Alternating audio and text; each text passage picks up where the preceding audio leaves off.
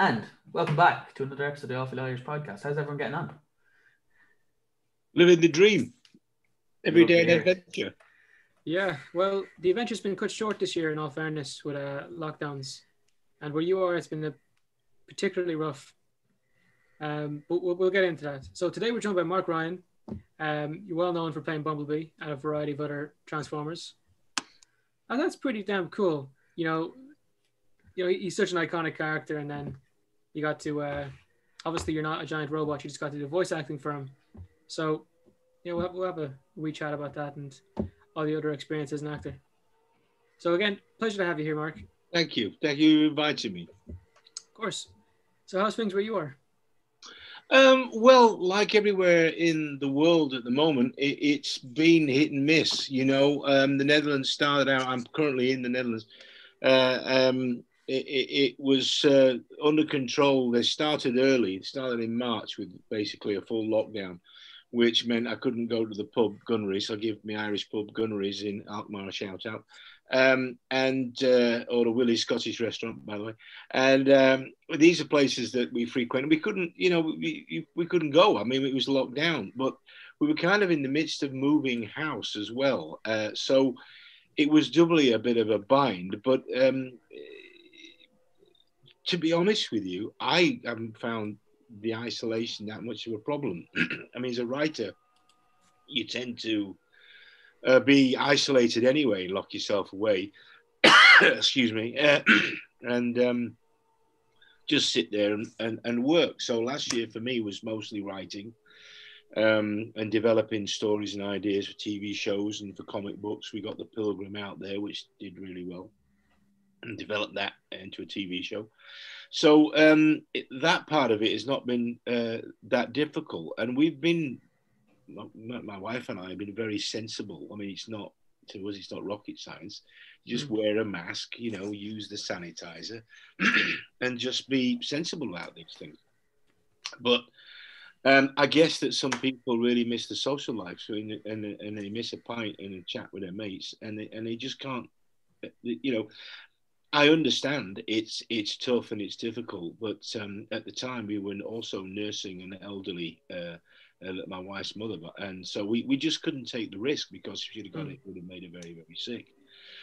um, so we've just been very very sensible, to be honest with you. Um, and other than the odd trip out, we we have a little boat here that go out. We go out on the lake, so you can't get much more so, socially distancing than being on a boat in the middle of a lake Yeah. and um, that's that's to me is my little bit of an escape and my little bit of heaven. And so I was very, we've been kind of okay with it. So, uh, but I understand that people have, have really struggled with it, and the only problem is um, that's how it's got spread. And uh, uh, I guess having done work on uh, viruses in terms of telling stories and, and writing, like the Pilgrim is about a virus. I understood about airborne um, viruses and, and the mutations and stuff like that. So I had a little bit of knowledge enough to go, I don't like the sound of this. Um, let's just be sensible. Let's just hunker down and see what happens. And so, about a month before uh, this all really blew up, I was speaking to pals in London who were on tube trains, you know, and hopping about and wandering around London. And I was going, "Uh, why are you not locking down? What is going on there? So it seems like a total communication failure in the UK. I don't mind saying that. It's an embarrassment. Um, and uh, then it came full bore. Now here they've they've they had it under control. I think people got a little bit bored about not having to be having to have a social life because the Netherlands is very much like Ireland, very much like the UK. It's all about the pub. It's all about the restaurant. I'm well- glad to hear. Mm-mm. I said I'm glad to hear. Oh yeah, no, sure. No, I mean it's it's but they call it Borrel Society here, which is on Friday afternoon. You can't find anybody in their offices on a Friday afternoon. They're all down the pub. no, seriously. Uh, but it is, you know, the hospitality industry, the hotels, the pubs, the restaurants, the clubs, and stuff like that. Particularly in Amsterdam. I'm not in Amsterdam, but it was out of Amsterdam. It's all about that and the tourist trade. And so it's absolutely crippled that business, as you can imagine. Um, oh yeah. But there is that social thing here, and certainly during the winter when the weather here is very much like Ireland and very much like Northern England, it's very grey and damp and rainy and cold. You want to go into a pub and have a have a steak sandwich and a pint, and um, they've had to just cl- close that down because people then started to go back and do that, and of course it's we're now in, in a second wave and it's pretty serious. Second Pretty wave. serious. Yeah, we had one of those. Now we're on our third. That's the worst we've ever had. It is Uh, god awful. I can't. I don't mind saying this to anybody that's out there that's listening. But don't start me about QAnon because I'll go com- completely off the rails. Anybody that thinks that this is a hoax, you need help because we know at least two people that have died of it. I have good friends of mine that have had it, and they said it's the worst thing they've ever had in their lives. And that um, uh, at least two people that I know that are close pals said, "Oh no, I didn't think I was going to make it. I thought I was not going to get. I was so weak I couldn't get out of bed." So anybody that thinks that this is a hoax or it's not real or it's some kind of conspiracy or whatever, don't just be sensible. This is this is a very very dangerous virus. If you happen to have a, uh, uh, uh, uh, an immune system which is compromised in any way, and um, you know you can see what's happening in Los Angeles. I can't even get back to LA, even if I wanted to get back to LA where my other home is. Uh, I wouldn't go back there right now. I can't. All the hospitals are full. And this is again because of people going, oh, we don't need to wear a mask. We can just go out and wander around Huntington Beach. God Yeah. knows what else and do what you, you can't. This thing will kill you. And if it doesn't kill you and you give it to somebody else, it's going to make them very sick Mm. and or kill them. So come on, guys, let's just get this together. Start thinking about this sensibly. There's- It's a new seems to be virus. this- We're on the same page here. Yeah. There seems to be this huge debate about masks in general. That you know, it it doesn't take that long. You know, you're, if you're going shopping, it doesn't kill you to wear a mask. And you see so many videos of people protesting to them. You know, screaming their heads off. It's it's unnecessary. Yeah, they, they, they, um, the big sales uh, thing is uh, uh, one of the big um, changes, Albert Heijn, and they have literally have people wiping down the handles of the trolleys. You can only go in with one trolley each. Everybody has to wear a mask. They won't let you in if you don't have a mask. It's no, sorry, wear them or don't come in. They Mm. wipe down the trolleys, so whatever. We use the gel anyway before we go in. There's a bottle before you squish your hands or whatever. And that was the same with Primark or all the big stores. They were doing the whole, you had to do that. And if you didn't do that before you went in, they wouldn't let you in. They go, sorry, go do your hands. So you had to do your hands. You had to wear your mask. Just simple. You know, this is not, you know, a freedom thing, really. It's not. I mean, the reason that you wear a mask in a hospital is because it's it's preventing you breathing um, germs onto somebody that might be sick in a hospital, and also breathing in. It's simple. It's just a simple barrier. Now, it may well be that you can contact it from a surface, whatever. I believe you can. So that's why you wash your hands and you use that um, the, the the the stuff. Just just do it. It's this is uh, it's crippling the world's economy at this rate, as well as Oh, Good luck ever recovering. But I, when, when people talk about like the economy and like we should prioritize that, it's, it's a bit rough, a bit um, out there. You, you want to be thinking about people and how they're going to recover. And- I think there was.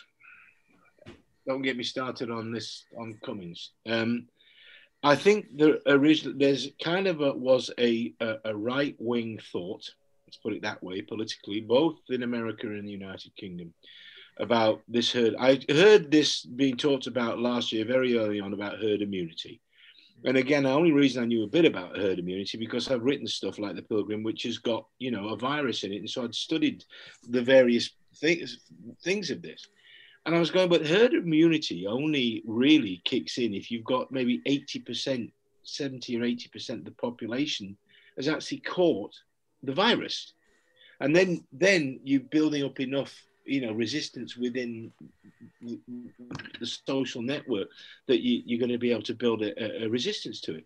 But that means out of whatever in America, as we now know, 360 million people, if 1% die, that's 360 million, 360,000 people that will die.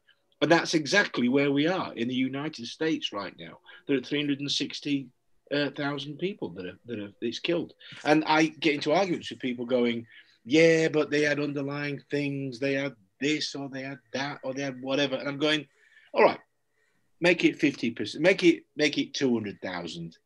Let's be generous. Let's make it 150,000. Let's make it 100,000.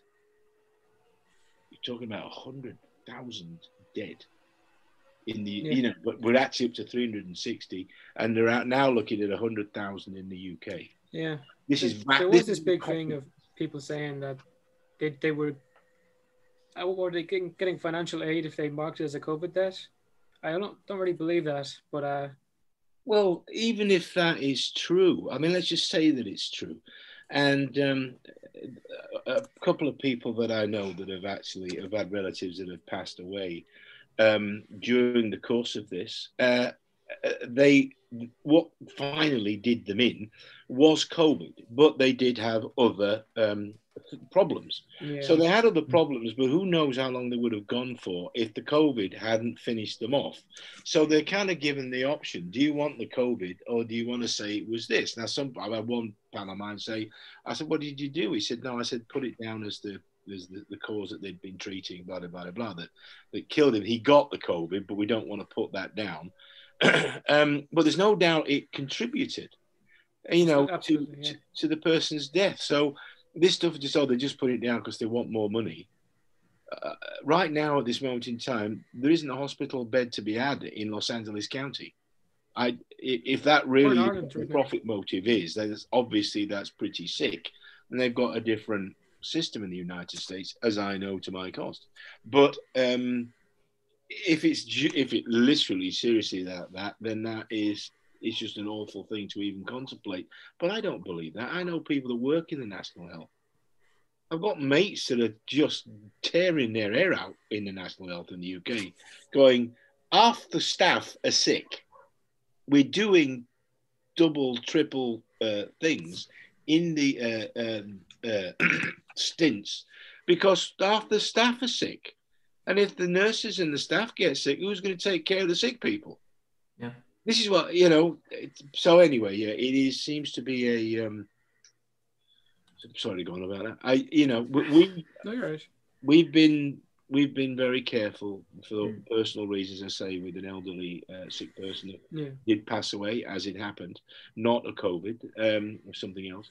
Uh, but we were just being careful, and that kind of, I think, trained our mind to just go, let's not, let's just carry on with this uh, until this injection is available and it's proven to work, and and you know you're not going to have a backlash from some kind of allergic reaction. We're just being sensible and careful, and it and it's not been that difficult. But you know, yeah, I feel sorry for anybody that's out there that is, you know, is is really suffering. And as I say, I've got mates that have suffered, and they said, "You don't want this. Mm, you yeah. don't want this. This is not fun." So, yeah, we have a friend uh, from the podcast, and had it twice for that. The end, he was okay. It was the first time he barely noticed it, and then the second time it got got to him pretty bad. Really? Yeah. Um, I thought yeah, you could get he was, was That's what I thought as well. Well, they're just saying today that if you've got it, it gives you like 18 months of immunity or nine months of immunity or something like that. But again, there's some bloke on the telly the other day I was watching, is that like three times uh, in the space of a year. So I, I, you go, well, what is, I don't know. It's difficult to know yeah. half the time what the truth is. I mean, you try and go by WHO and uh, the World Health Organization and um, and the experts, you know, Fauci and stuff like that, who seems to be a sensible bloke. Yeah. Um, but some of the other, what shall I say, misdirection, um, to be kind, um, or you know, deflection, is has bordered to me on the criminal. Mm. Um, you know. And the amount of fake news that goes towards it. Yeah, we, I was about to bring that up. yeah, we're, we're media students, uh, so we have to do, uh, you know, an essay on fake news um, obviously COVID came up. Um, I, I avoided politics, so I went really deep into COVID, and um, you know, there, there's a lot of fake news with it. Like oh, the death rates um, of one percent. That that's a lie in itself. That can be thirty times higher in um, poorer countries. Uh, and they're not that they were accounting for only first world countries when they initially said that. Omissions of fact, you know, they're at someone's expense. Yeah, I you know I, I guess at some point proceedings will know really how this started. Um, but again, it's there's a lot of short-sighted uh, populism going on at the moment in the world, and the idea is that the populist politicians get rid of all the experts because they don't like to be told the truth or don't actually be given, you Mm. know, a, a, a briefing on something, and we can see where that has led. Yeah. You know, um, the reason that we hire scientists and specialists, that, that kind of thing, is because obviously their advice is going to be something you want to take on board if it if it fits. But to just hollow out organisations like um, they did with the the Wuhan uh, team that was there, part of uh, Barack Obama's team that he sent there specifically to watch um, the, the what was going on there and work with the Chinese on their viral research. And then, of course, uh, Trump pulls the financing and brings him back. So, guess what happens? We, we Yeah. don't have any idea what. What, what, Now, what do you do? At some point in the proceedings, we're going to know what the truth is, but you know, we don't have it at the moment. Yeah, and it's hard for some people. But look, Mark, I'm glad that you got you know your creative outlet with your writing. I'm glad yourself and your wife are safe. Thank you. Uh, we ourselves are safe. So I'm hoping everyone listening is in the same situation that we're all a okay. If you're not, Just be sensible. Just be uh, best of luck. man. Yeah. Yeah. yeah, absolutely, absolutely. Um, but yeah, um, so with Pilgrim, you got an idea of how airborne viruses work, and Yes. uh, obviously, you know, the timing is unreal. You know, did the research and then here we are. That's rough. Well, uh, what was even weirder was it's actually an airborne um, weaponized version of Ebola. So, um, which in itself is a difficult thing to uh, people get their heads around. And I- wanted to make it something that was scary in its own um, way, but but actually people weren't going to go down the garage and try and make it. And so um, try and see if they can manufacture it. and so in in the Pilgrim, it's an airborne version of Ebola because Ebola is a blood to blood, you know, transfer type um, uh, uh, uh, viral disease. So um, we made it a weaponized version just because it, you know, it's a scary thing to have as a as a you know, weaponized virus sounds scary. yeah, mm. and uh, you know, so that's what we. But again, to do to write that stuff, I and um, and pal of mine, Jason Connery, was working on a, a film called Pandemic, and uh, he asked me what I knew about it, and I just happened to have a bunch of books about it, so it kind of reminded me of all of this stuff some years ago. So he's he, I lent him a couple of books that I had on you know viral studies and all that kind of stuff. Yeah. What did you uh, think of that new trailer, Songbird? Have you seen the trailer? I think Michael. No, I haven't. To be honest with you, I've been a bit um, uh, remiss. In fact, I just did a film this morning. We did a press thing for uh, uh, the Berlin Film uh, Independent Film thing for uh, The Reckoning, and I haven't seen that either. So Neil Marshall, but you see, the reason that nobody's seen it is because they can't show it. So poor old Neil, we did this film, and it's you know over a year ago. And he sent me a link and he said, You better, we better do this thing. You better see it. And he sent me about 20 minutes before we did the interview this morning. So I, was like, I haven't got time to watch it. So, to be honest with you, I, I've been a bit remiss about watching uh, TV uh, stuff, um, really. I've been glued, I must be honest with you, to the TV, to the machinations that have been going on news wise in just about every other arena um, whether it's CNN or MSNBC, I, I, I've been glued to that. But I'm, I, I have to do some catching up with that type of show.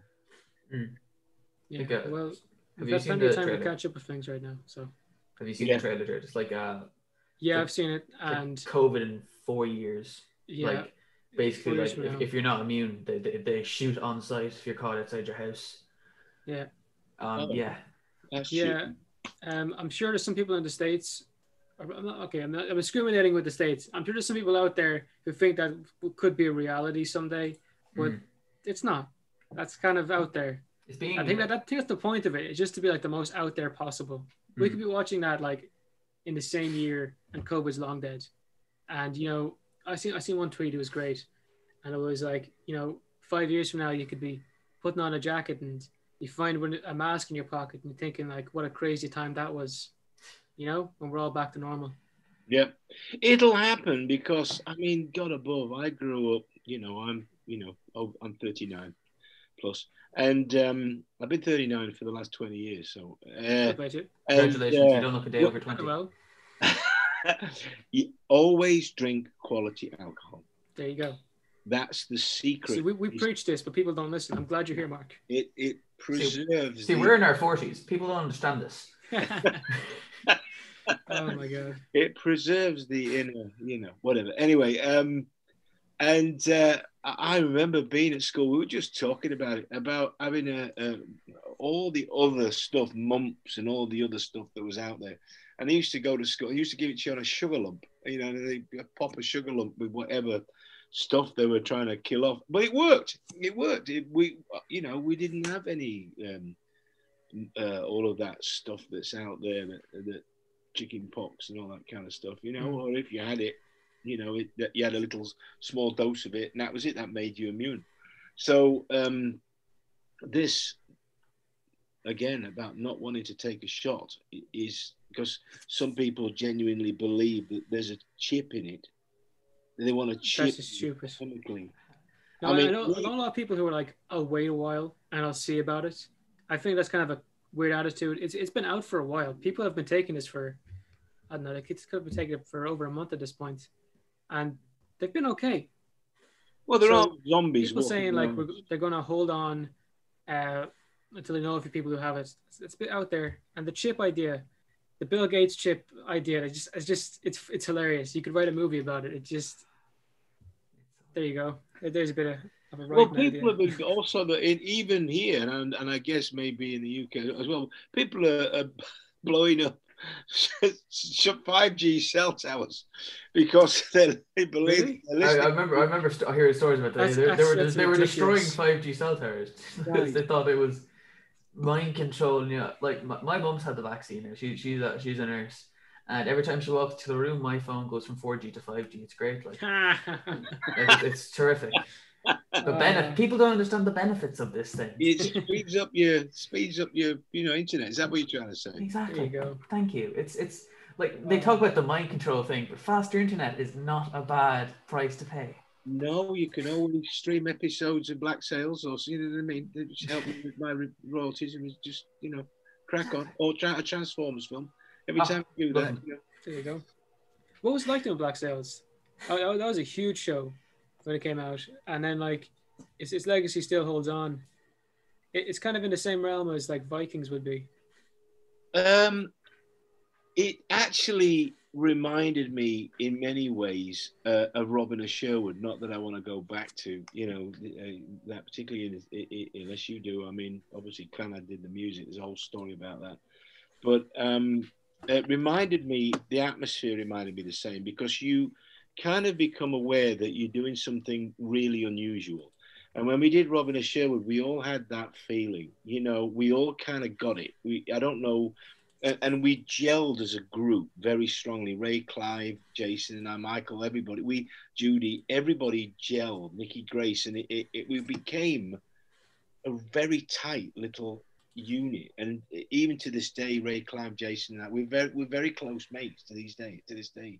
And everybody, you know, um, uh, we still talk to each other birthdays and just cheer each other even, even during these lockdown days.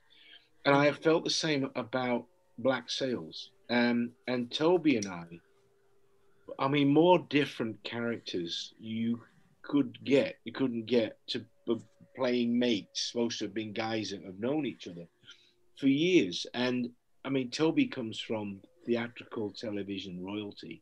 I mean, his mum is Maggie Smith you know, um, and his dad, Sir, you know, uh, um, was a uh, was a, was literally a, a, a, a king of the West End and, and Royal Shakespeare Theatre. So Toby came from a very difficult, different background to me, you know, musical theatre, Mm. you know, that kind of stuff. And we got on like a house on fire. And uh, I could say every day we giggled like little schoolgirls most of the time. It was an embarrassment on the set because we were just like, we're pirates. We're Uh, We're like- so cool. just big butch pirates, and um, it was great. And uh, the scale of the thing, obviously Michael Bay being involved, uh, the scale was just off the planet. I mean, they built two full-sized galleons that were sitting in this um, tank that they dug in Cape Town, South Africa, specifically for the show. And um, they is built crazy. that It's dedication. oh, it, it was unbelievable. And when you were actually on the boat, they built them. I don't know how many tons they actually were, but they built them on these massive hydraulic gimbals so that they could actually rock the boats Oh, these gimbals. Well, if you were inside the boat and not able to look out the window and see the horizon, which is not you, you got seasick. And a lot of the makeup girls and wardrobe girls couldn't actually be on the boat because if because if they were locked in while we were filming, they felt seasick because of the the motion, and that's what makes you sick because you can't see the horizon. Your brain Mm. can't make sense of it. So um, uh, the scale of it was just monumental. The writing was brilliant, and because of the relationships between us as a group, I think a lot of it came out extraordinarily well. And I had some of the best dialogue ever written for a character, probably that I'm ever going to get. You know, I've been extraordinarily lucky with that kind of thing. Hmm. So it has that same, um, it has the same, to me, aura as Robin of Sherwood, which has a life even to this day. Hmm. It's Robin is still a cult show, you know, 37 years later or something. So. Jeez. you know, it's impressive. Sometimes, you know, people make a show and it bombs, and then there's ones like the one you've done, you've done there, and it's just it's gonna stick around forever. Yeah. It just it's just gonna be constantly looked back on or used to compare other things in similar genres. Um, but it's amazing to see, and this obviously wasn't your, your first thing with uh, Michael Bay, yourself and himself with um, Transformers. 10 years with Michael, I've had, uh, you know, we did, I've worked on all the five films that he um, directed on the set with him. A lot of people don't understand this. They say, well, when do you do the voices? Do you go, I said, no, no, I do it on the set. So for a decade, basically, all five films I've been, because it's like a two year cycle.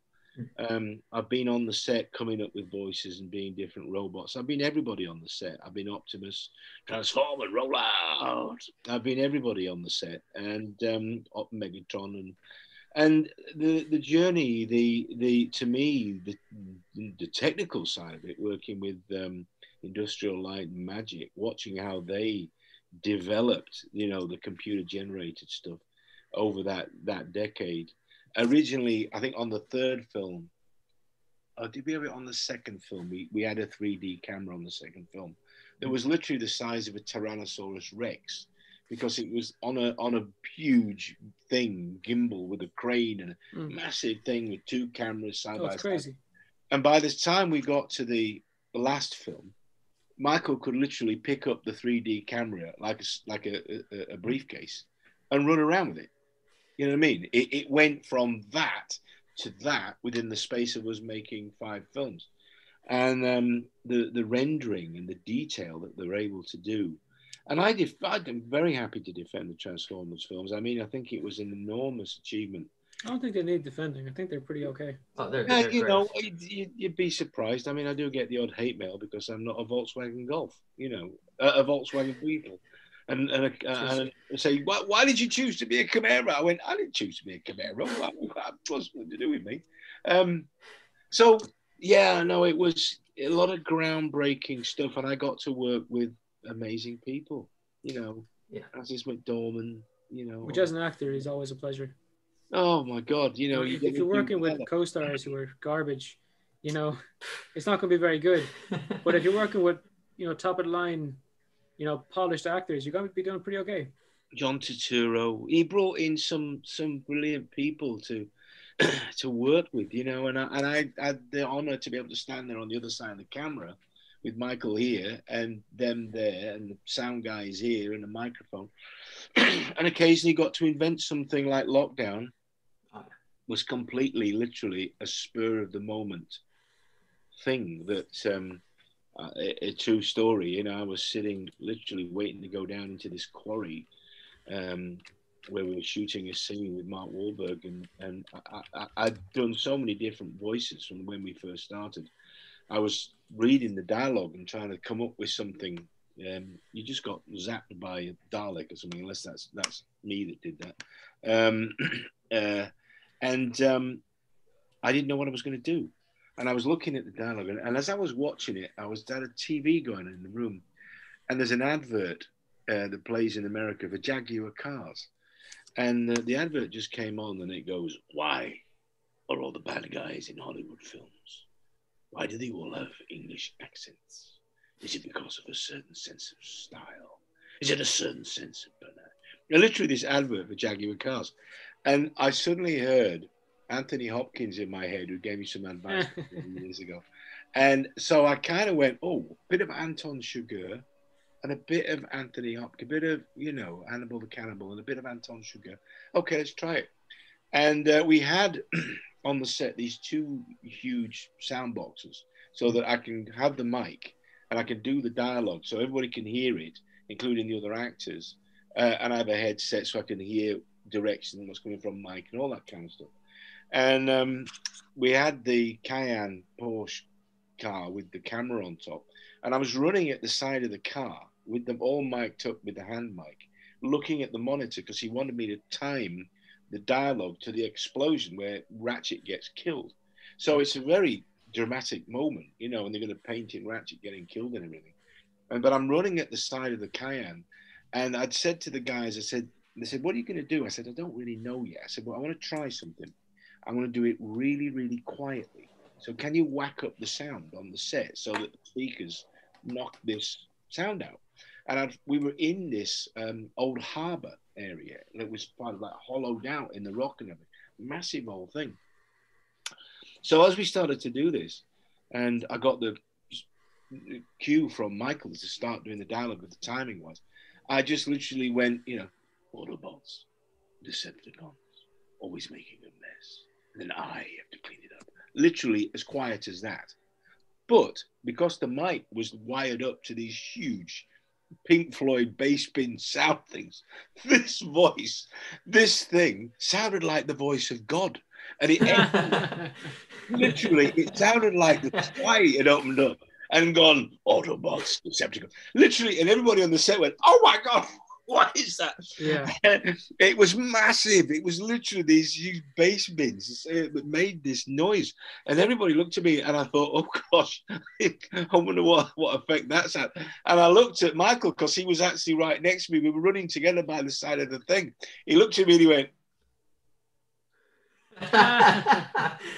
no, I went, okay, we're, we're, we're in the right, we're in the right ballpark. So Mm. so that kind of create, helping to create a character like with Jetfire, you know, I have a bit of input into Jetfire as well, uh, and that kind of stuff. And um, sometimes they film my face and they plant it onto the character. Like if you look at Lockdown, you'll see it's very much my face, and they mapped it and digitally, you know, all that kind of stuff. Ten years of of of literally right on the edge of of um, cutting edge of the business, and again working with people like Anthony Hopkins you know, it, it just amazing experience. Who, who recognized me, would you believe, from 1981 or something? You know, first time I met him. I watched that interview you did earlier on where you told the story of him giving you advice, and then he recognized where he gave you that. That must have been that extraordinary, extraordinary. And he, he tested me. He wasn't. He didn't. He tested me because he said, "I knew I'd seen. I know we'd met before." He said, "But was it um, was it the Strand or was it uh, Soho?" And I said, "It was Soho." Was it Dean Street or was it um, uh, the other one, uh, the other street next door, um, where where the theatre is, the Evita Theatre is? Anyway, can't the name's going out of my head. And I said, "I think it was Dean Street. I think it was not Wardour, Wardour Street or Dean Street. I think it was Dean Street." And he went, "And what did I tell you?" And I told him what he told me, and he went that's what I would have told you. So very interesting. He remembered.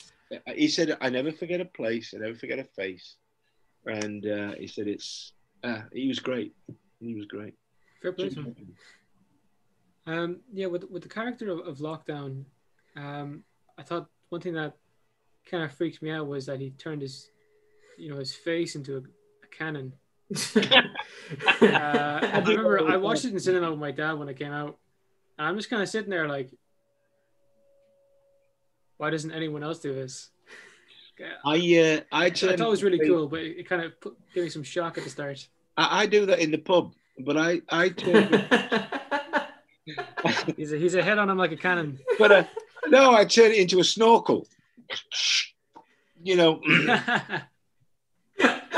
Oh, turn it into a snorkel. It's easier. It's just a, There you go. Jeez, it sounds, see, it sounds like you love the pub a little bit. Oh, you know, I, I do I do enjoy a pint. Uh, you Yeah. know, not so much the pints anymore because I, I do love the pints. But um, you know, particularly the Guinness. I do like the Guinness. Uh, but I, I just have to pace myself. You know, when you when you get a little bit older, you know, you um, it's not so easy to work it off anymore. So Yeah. I, I'm more in the wine now. I'm more of a of a wine, a white wine or a red wine. You know, yeah. right. And where do you prefer to get your wine from? Uh, we usually buy it. I mean, or obviously if I'd go to a pub and have a glass of wine or something. But you know, we- you usually go and buy it here so that we. Can, I like to have a sitting. It's one of my guilty pleasures to have a glass of wine of an evening, shouting at the television. You know what I mean?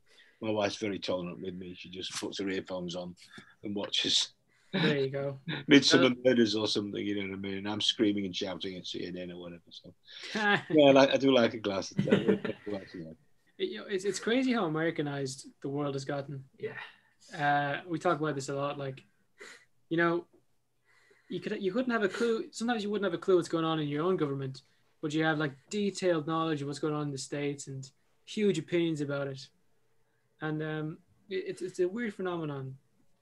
Um, I only realized it one like one day when I was having a chat with my girlfriend about American politics. Or like, oh, what's what's the Irish equivalent to that? Duh. Nothing. Absolutely nothing came to mind for either of us.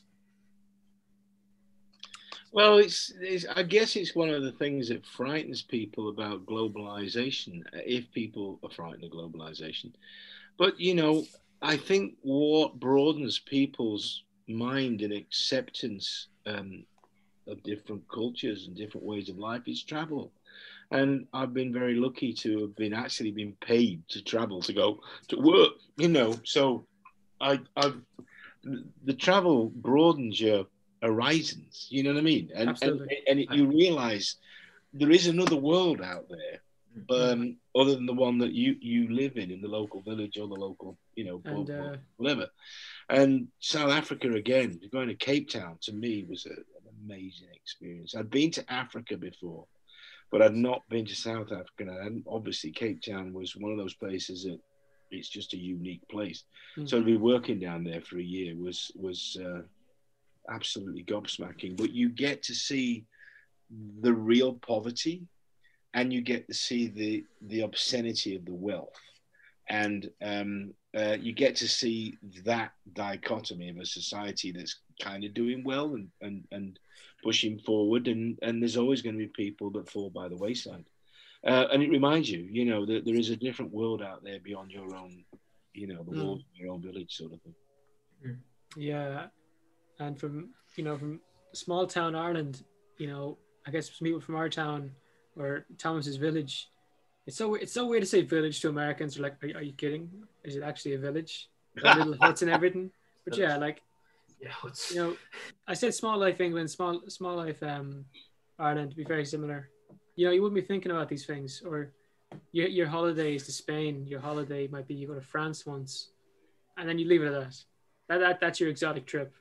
Hmm. Or Italy if you want to go crazy.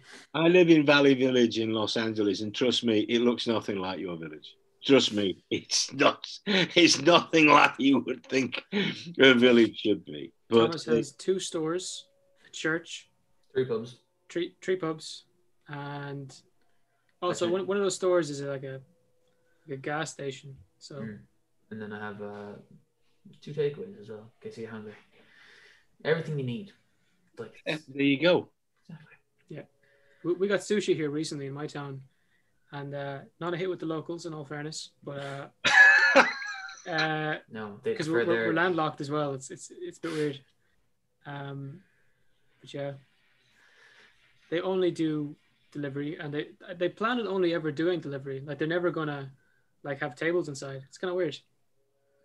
Takeaway sushi only. How crazy Takeaway is sushi.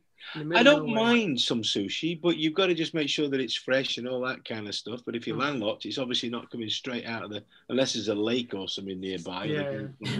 There's a canal. It's pretty nice. Yeah, there's a canal, but if the fish is coming from that, I do not want that in my body. No, people just no, no, sir. constantly. It's Yeah. horrible. Like, the stuff you find in there is unreal. Yeah. With the amount of like beer bottles in there, you'd, you'd swear the fish are having a better time than us. Um, yeah, Yeah. I, I kind of with the sushi thing, it, it kind of goes back to the pubs as well. Like you wouldn't enjoy drinking at home as much as you would the, uh, like the, the night in The the crack. pub, the crack, the crack. Gotta have the exactly. crack. You want to be having the crack, and um, the, the crack's kind of dead at the moment. In all fairness, the experiences of like going to restaurants or pubs is gone, and that kind of dulls it for some people. Like, you get a bit of fun if you get a takeaway, but you know, even at home, I've found myself if I'm making the same stuff all the time, like same dinners, it's gonna be the same. It's just gonna be garbage. Not, no, no excitement anymore. Well, it, it will turn. It, it, you know, I do have faith in that. But what the world's going to be different. I mean, somebody that's flown as much as I have around the world, um, I know it's going to be different. I have no desire to get on an airplane at the moment and sit with you know 300 people for 12 hours, you know, breathing circulated air or next to somebody or whatever. It's, I just don't have that desire. I'd rather sit it out and wait until you know this is really settled down a bit. So the world's going to be different. Shopping's different already. The high street is different already. But to You what know- end do you think? Sorry. I said, to what end do you think? Like, what do you think that stops? Like, are we going to be wearing masks in hospitals forever now? Oh, I, I can see us wearing masks for years. I think that's actually not too bad. That's probably safer. That's something we wouldn't have thought about.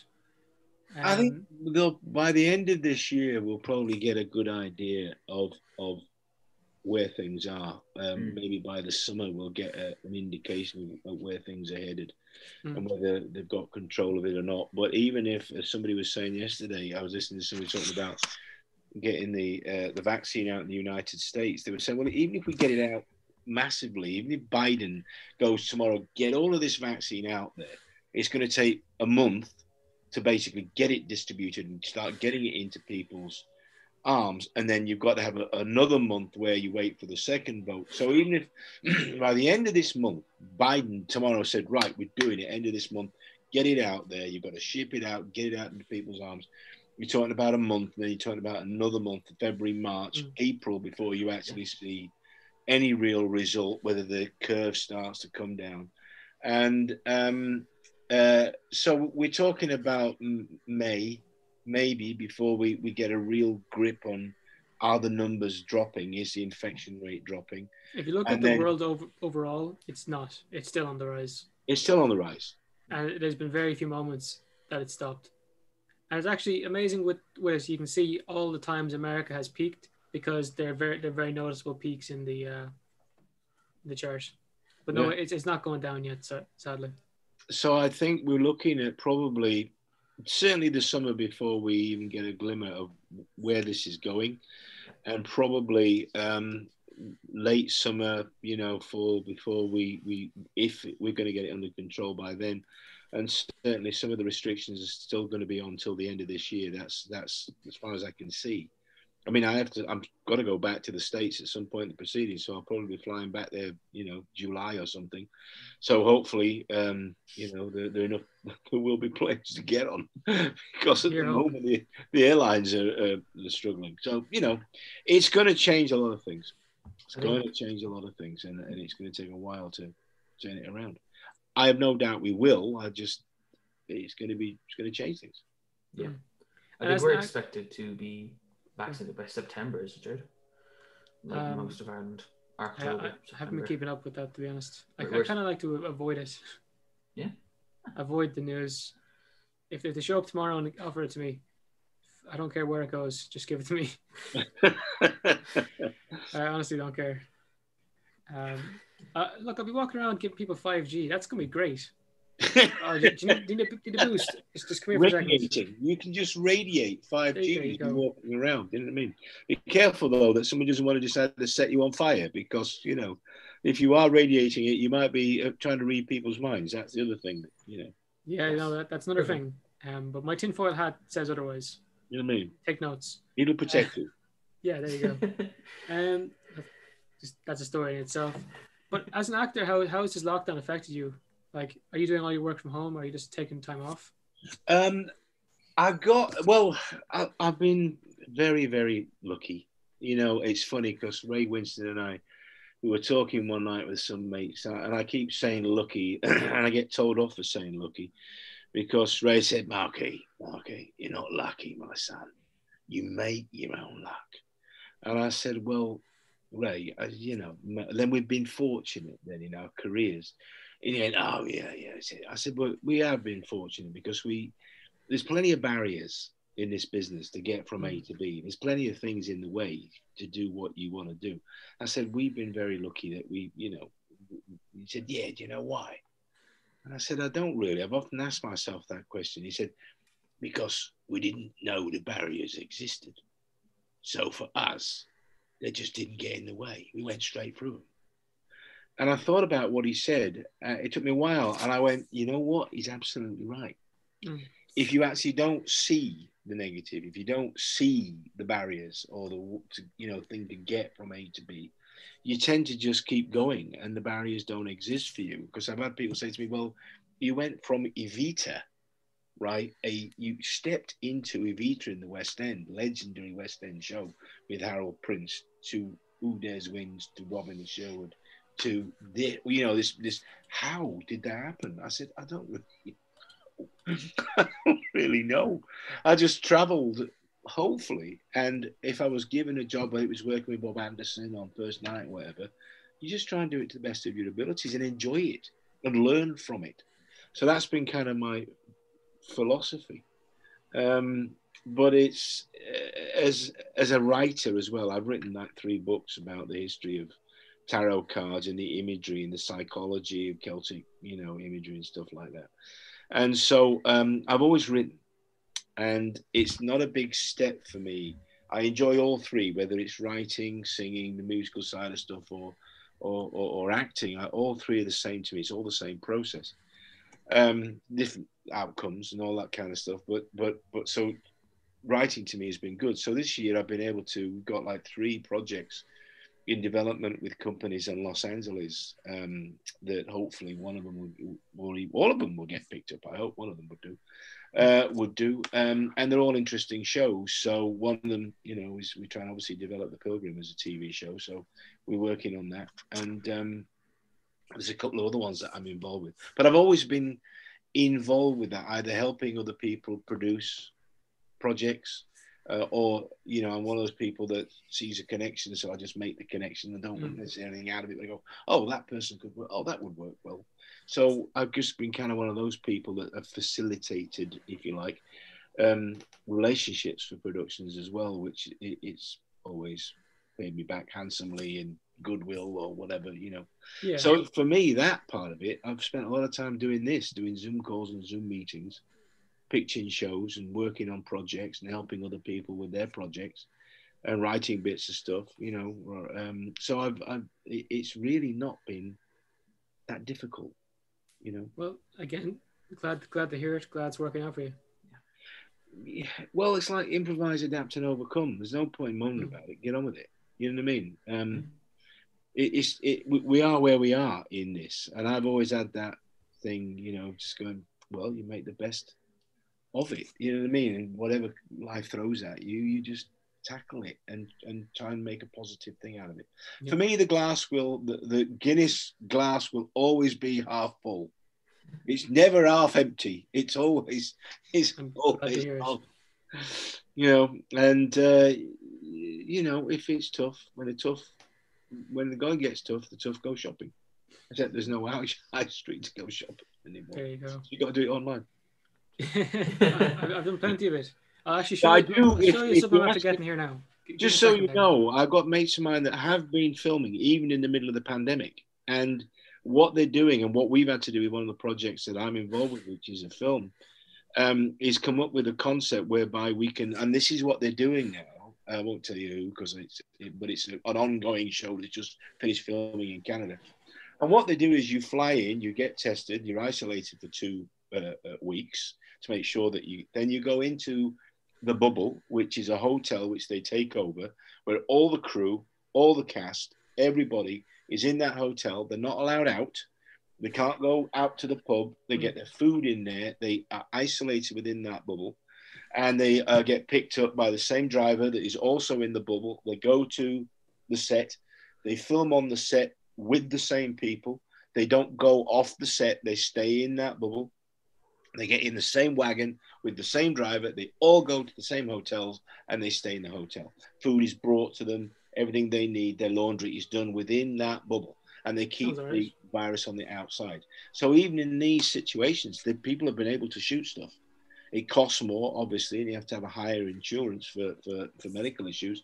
But um, even during this time, things have been shot and completed. Yeah, I was on set for the last duel and they got finished up. They were they were militant about masks. Apparently, I had the wrong mask one day, and they're ready to fucking murder me. What was Um, it on? Uh, the last duel, Okay. and I'll show you what I had. This is the exact same one. Um, because this has a filter, Yeah. Um, I was I was nearly murdered. I know it has a lot of layers. In all fairness, it's got four four layers to it and a filter. I thought, oh, I'm gonna be grand. I have a state of the art one. I'll be doing okay. And then no, they just gave me a disposable one and said get a new one. I did. I did. I didn't complain. Um, obviously, you know, there's stuff at risk here. There's people jobs, people's jobs. Um, you know, the, the whole industry is on show, so you gotta behave yourself. Yeah, we we wear the little, you know, medical ones all the time, just going out. If we go out shopping or whatever, you know, even if we're getting in the car. Do you wear it outside? You know, we had we actually bought some of those as well. We actually had my wife and I had the ones with the filter, and somebody said no, the filter is actually useless um, because it actually doesn't filter. it's Yeah, not designed for that. No, um, uh, you're actually better off wearing one of the medical, just a little paper, not paper, whatever that material they're made of, which is actually filters more than if you've got one with a big hole in the side. So, Mm. anyway, Yeah, it's fair. Okay. But whatever you need it for. Like I've seen people going out there with basically gas masks and hazmat suits, and uh, I think that's a bit too far. But uh, sure. yeah, but there are clubs for that particular type of thing on a Saturday night in Dublin. If you want to go with your rubber suit and, and a gas mask, there's there's special places for that. You know what I mean? It Mm. costs a bit extra for an evening out, but you know what I mean. And then you get hosed down or sprayed down with something, Yeah. and, and you know, and every, you know, everybody's good friends at the end of the evening. You know what I'm saying? things you'll do for a pint. Swear The things we'll do for pints. saying? Um, I've seen some awful things people said that they do for pints at the moment. Fair play to them. I remember they did takeaway pints here, and that was, that was a big hit. People love that. Yeah. Take away pints. And then the Taoiseach said no more and gave out to everyone. And Yeah, it- gave everyone a tap on the wrist and said, yeah. like, it was like takeaways could stay open, so they're like, oh, we'll do takeaway pints. Take Yeah. pints. Take Yeah. pints. Save the but- pubs. And then So like, I don't know, were they delivery or did you pick them up? uh, I think you have to pick them up. Yeah. I'm not. I'm not sure to be honest. Like I imagine just- like four pints coming to your door. Like, oh, that's, that's me sorted. Yeah, that'd be an experience. And why not? That's what I say. Yeah. Well, 100%. yeah. I, I, try, trying to make it like harder for us to drink here at the moment because uh, obviously alcoholism is a problem. Uh, we're, we're pretty guilty of that in Ireland, and uh, it's gone up crazy during the lockdown. So Oh, they've been a bit militant on it. I think it's, it's I think it's fair, but um, Mm. here's the thing: if you make alcohol more expensive, they're still going to go for the cheapest one. You know, if you make ten cent cheap, uh, more expensive, that's ten cent being taken away from the kids' food or something. If people have genuine alcohol problems, you Mm. know, well, and it is a lot of, you know, as you do when you're a young man in London or wherever, uh, you know, particularly if you're on a show or something, people tend to drink. You know, I, I enjoy a drink. I, you know, I, uh, I'm not an alcoholic. I don't wake up in the morning and think, well, where's, where's my next shot of vodka? where's the pint? Yeah, Um, you know, but certainly I do enjoy uh, uh, a glass of wine, but so do the French. So, you know, there you go. I don't. I, as long as it's done within moderation, but I do understand it can be an issue for people. And I've got mates that that have made that decision uh, just to stop drinking because it was affecting their lives. I know people that have said that to me and said, "Can't do it anymore." Um, and I, am sure he won't mind. But one of them, John Hurt told me once at a party because, of course, he was a famous drinker, and um, we were again. I think it was me, Ray, and Clive. We were actually on the set of 1984, and we were watching Richard Burton and uh, John Hurt do the scene, the famous scene where he's sitting in the chair looking out over the hills. And we actually were there watching it. And um, we got talking to one of the ADs, and they were we were there for hours, and nothing moved, nothing happened at all. They were waiting for the light or something. And I got to, I said, uh, "What what are they like?" I said, "No." I said, "Man," he said, "They every day we put a bottle of rum, bottle of vodka, bottle of scotch, bottle of this, bottle of that, bottle of gin." In each wagon, about six or seven different spirits in each wagon. And at the end of the day, it's all gone. it's gone. And I said, Oh, Christ. He said, The weird thing is, they come out and they're both word perfect. They'll come out and they just two or three takes, bang, done. Yeah. Bang. That, that's crazy. It's crazy, right? No, sometimes you'd stumble if you if you just had like a pint never mind like all those bottles. And I bumped. I saw. I saw John at a party, and I said, "You won't remember, uh, probably," but I said, "We came down to see you." He said, "No, lovey, I've got no idea. I don't remember any of that period at all with Burton. gone, wiped out." And I said, "But I heard that you stopped drinking. You're not not doing it anymore." I said, "No, love, I had to. I had to give it up. You know." I said, "What? What? What was the switch in your head?" He said, "Lovey, it was getting in the way. It was getting in the way. And I love my business. I love what I do. And it was just getting in the way. So it just had to go. And I think there's a switch for some people. You know, they just, some people can do it cold turkey. Some people need help. And some hmm. people can just go, no, it's getting in the way. It's just not, it's not helping me do what I want to do. So yeah. And I mean, power to those people. Um, you know, the drink is a, is a, it's a curse at times, but you know, mm. if you can get through it, fair play. We had uh, we had Dr. Rob Kelly on. He's a, a addictionologist, and he was severely addicted to drink. Where he lost his family and his house, and now he's a self-made millionaire. Like he's. No. he's, he? he? said he was Gordon Gordon Ramsay's best man as well. Mm. He, uh, he, helped, helped Robert Downey Jr. get get off uh, drugs or whatever. Same with Eminem. Like he's he's yeah. amazing. But there is, and again, I've done quite a lot of work in recovery in Los Angeles with people. You know, I know a lot of people who are, you know, famous who have, have had issues and stuff. And again, I don't, I don't really, you know, it's their business. I don't really talk about it. But I've done a lot of work with a lot of folks. Some of them, obviously, I've, I've talked about. You know, Chyna, the wrestler, was was uh, a close pal of mine. We we we helped her for years and years and years. But there's just some people that, no matter what you do no matter how sober they become for a while, you know, the, the least thing can push them back into that corner. And and all you can do is fight for them and help them and support them and try and do that. But they have to um, make that decision for themselves. Yeah, that, that's a big thing. And one of the one of the stories that I tell because it's true is um, I was we went, had to go to New York to try and find somebody to bring him back to LA, and, and we'd gone up there to try and talk this person into coming back.